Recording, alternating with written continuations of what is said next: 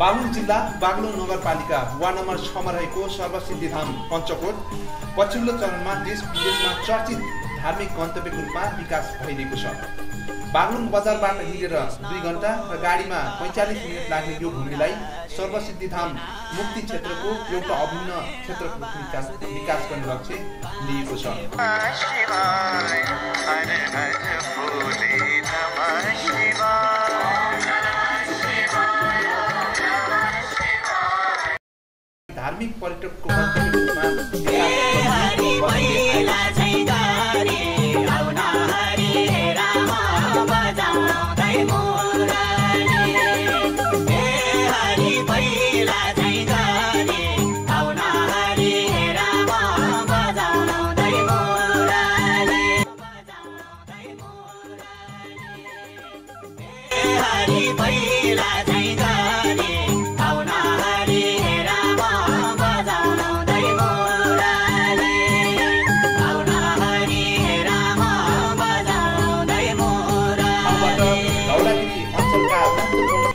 हिम श्रृङ्खलाहरूको पनि दृश्यावलोकन गर्न सकिन्छ।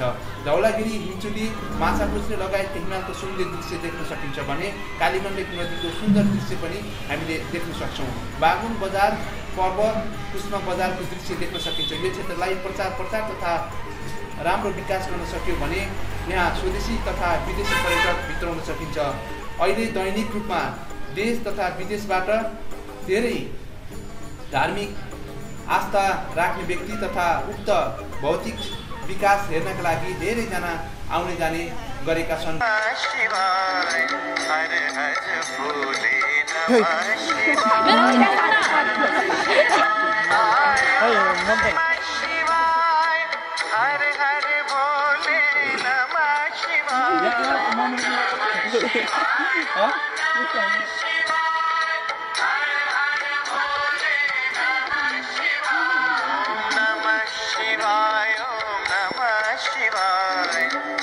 हर बोले नमः